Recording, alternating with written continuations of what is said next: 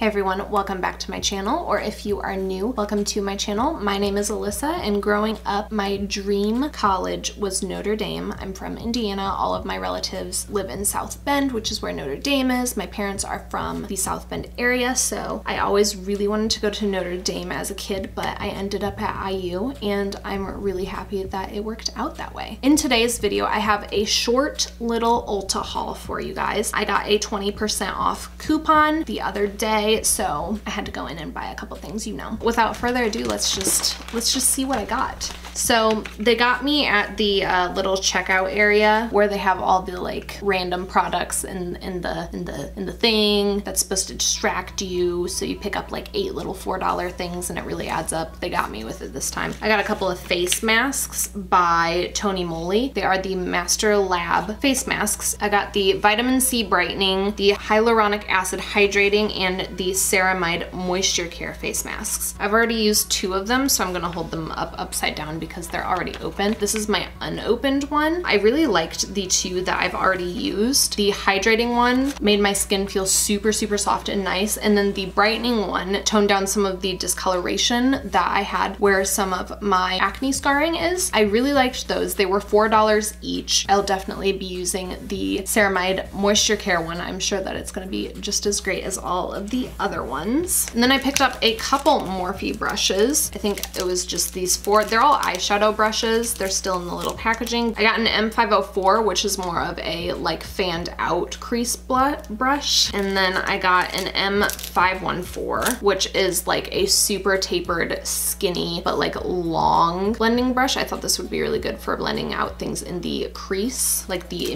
the immediate crease, like right in there. I got a M330, which is kind of your typical crease blending brush. It's a little bit skinnier than the usual one, so it won't fan out the color so much outside of the crease. And then I also got a M518 brush, which is just another fluffy crease brush. And then I got a Maybelline mascara. I got the Total Temptations mascara. Been wanting to try this for a while. I got it in the shade Blackest Black. I heard this smells like coconuts it does. So this is what the wand looks like. It's a big wand, but it's got like a tapered end to it. I'm pretty sure this mascara is supposed to be like lengthening, but more so volumizing. So I'm excited to give this a go. And I got another Morphe thing. I got one of the blush trios in Pop of Blush. So this is what the little unit looks like. And then these are the tones on the inside. So you get like a shimmery blush, or this could be used as a cheek topper, a matte blush, and then a satin blush. Then the last few things that I purchased were all Flower Beauty things. Um, I've been obsessed with Drew Barrymore lately, especially with all of the collaborations she's been doing with influencers. I've always really loved Drew Barrymore, but she's been kind of in the limelight recently. So I picked up a couple Flower Beauty things. I got a, um, what are these called? A Galaxy Galaxy Glaze Holographic Lip Gloss. This is in the shade Angelic. It's a really, really pretty like champagne color with like holographic pink and like iridescent shimmer in it. It's super pretty. And then I got one of their Miracle Matte Lips. It looks like this and it's the shade Almost Nude. So I'm sure this is gonna be super, super pretty. And then I picked up an eyeshadow palette. This is one of the Wonderlust eyeshadow palettes. It's called Austin. So I think there's like New York, LA, and Austin. I liked this one the best out of the three and I've had my eye on it for a while. So I picked this up. And then I also grabbed their Light Illusion Luminous Makeup, um, which is their foundation. I got the shade, what shade did I get? Natural Beige M1. So yeah, I'm super excited to use this because I've been digging the more luminous vibe lately and I've seen really good reviews on that. So I wanted to pick it up. But like I said, this was just gonna be a super short, quick little Ulta haul. That's everything that I purchased purchased, I think everything that I got was drugstore. They were things that had been sitting in my online Ulta cart for a while, so I figured with my 20% off coupon, why not just snag some of them? Let me know if you have recently bought anything from Ulta or if you also got a 20% off coupon and purchased some things. Let me know what you got in the comments below. Give this video a thumbs up if you enjoyed this quick little, little sharing of things that I purchased and uh, make sure that you subscribe before you leave if you haven't yet already. I post new videos every other day. Other than that, I will talk to you guys in my next video. Thank you for watching.